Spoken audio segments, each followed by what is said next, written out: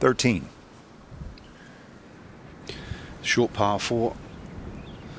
It's all right, just outside the hazard. Just swing with the upslope. It's another guy like DeChambeau who has married science and art in pursuit of excellence like that in golf. He studies big data at uh, Stanford. Well, he might have married science and golf, but you got to love this.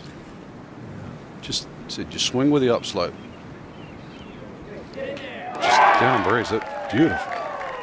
His dad, Scott McNealy, co-founder of Sun Microsystems,